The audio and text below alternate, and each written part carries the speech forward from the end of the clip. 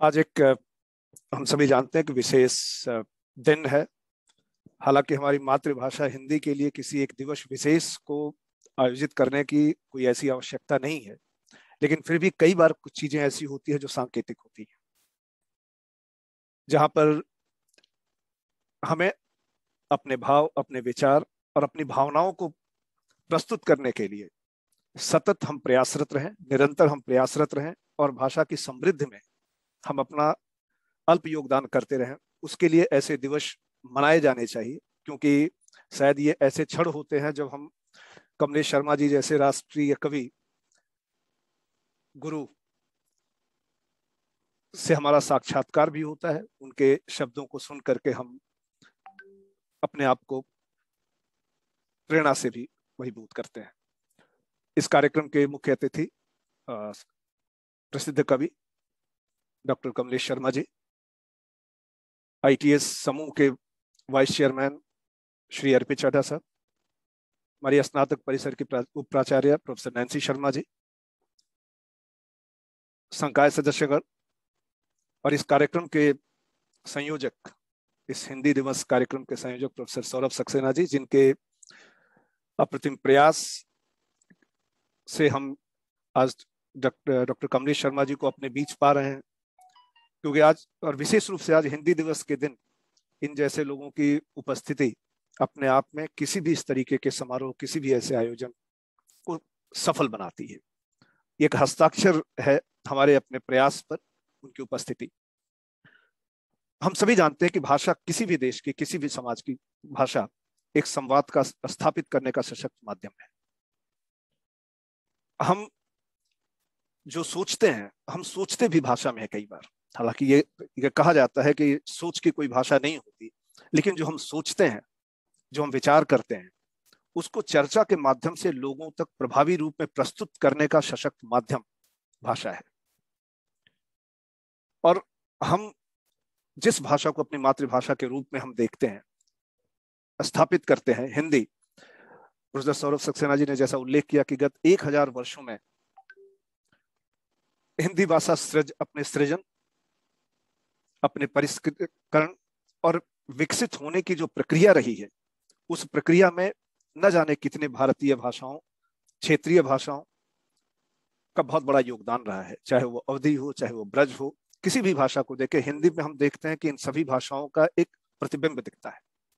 और इस पूरी प्रक्रिया में भा, इस हिंदी भाषा ने पूरे जनमानस को पूरे समाज को पूरे देश को एकीकृत करने का कार्य किया है। और जब भी भारत में जब भी इस देश में चाहे वो विदेशी आक्रांता रहे हों या किसी भी इस तरीके के जब भी कठिन क्षण आए हैं जब भी समाज में सम, जो सामाजिक मूल्य है मानवीय मूल्यों का ह्रास हुआ हम कभी भी अगर देखें तो हम देखते हैं कि समय समय पर इन भाषाओं के माध्यम से हमारे बीच में ऐसी महान विभूतियाँ उत्पन्न हुई हैं चाहे वो तुलसीदास गोस्वामी तुलसीदास जी के रूप में रामचरितमानस की स्थापना हो चाहे वो कबीरदास जी के माध्यम से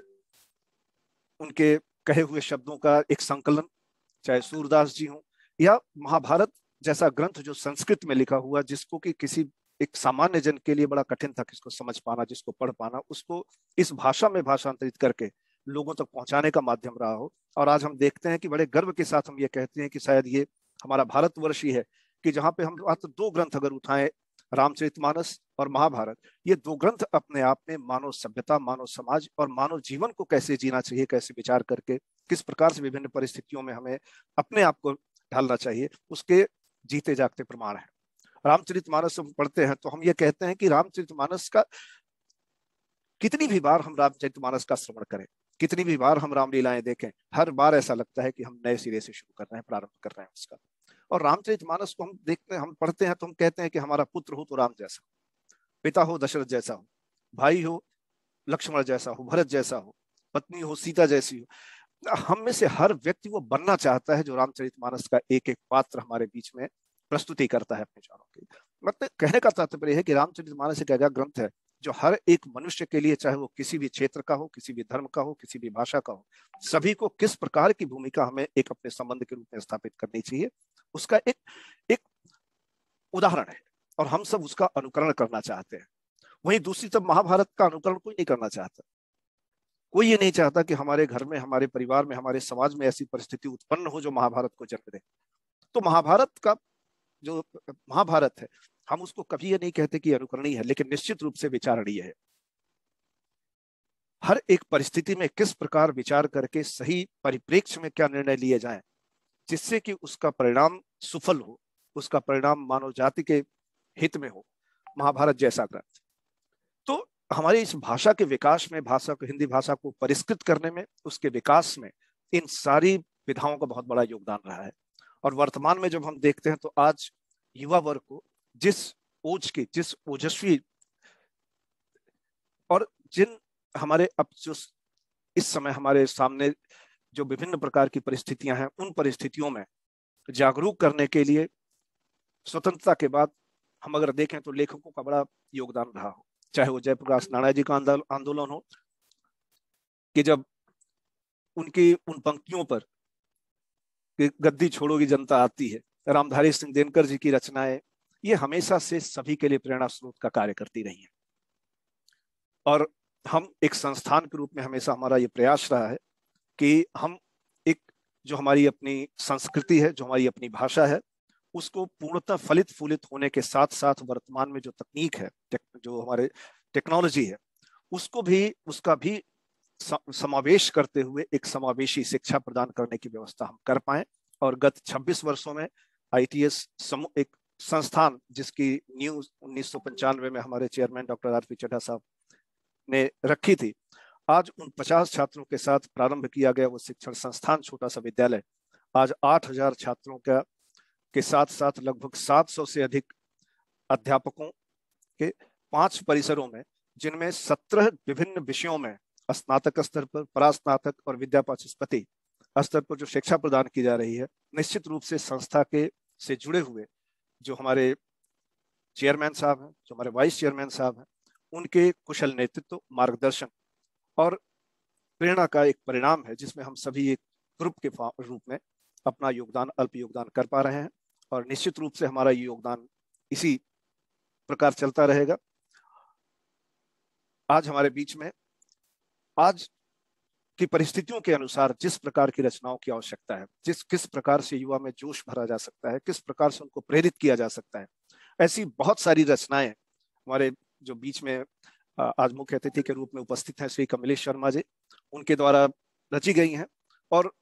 हम इनको बड़े बहुत लंबे समय से सुनते भी रहे हैं और इनकी कुछ रचनाओं में जिनमें हो सकता है कि आज हमें ऐसा भाग्य प्राप्त हो कि हम उनको, उनमें से कुछ को सुन पाए कि देशद्रोह भी क्षम्य नहीं होता। हम देश हित में खरी बात ही करेंगे और राम हुए हैं कितने और प्रमाण दे। ये कुछ ऐसी रचनाएँ हैं जिनको सुन करके श्रोतागण मंत्रमुग्ध हो जाते हैं। आज ऐसे यशस्वी कवि डॉक्टर कमलेश शर्मा जी हमारे बीच में है। मैं समस्त संकाय सदस्यगण की ओर से, संस्था की ओर से, सभी छात्रों की ओर से आपका स्वागत करता हूँ। और एक, इस सत्र को हम एक प्रेरक सत्र के रूप में हम सभी लेकर आगे बढ़ेंगे। इसी विचार के साथ आपका हमें हमारा निमंत्रण स्वीकार करने के लिए और आपकी इस उपस्थिति के लिए बहुत बहुत धन्यवाद। मैं सौरभ सक्सेना जी को आमंत्रित करूँगा कि आए और कार्यक्रम की आगे बढ़ाएँ।